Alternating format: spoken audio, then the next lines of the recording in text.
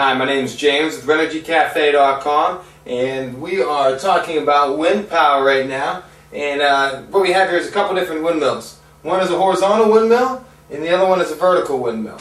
But they both work the same way. Whenever the wind blows, they spin.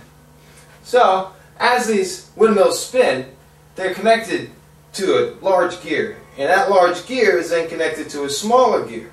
So, this smaller gear is going to be spinning considerably faster than that large gear.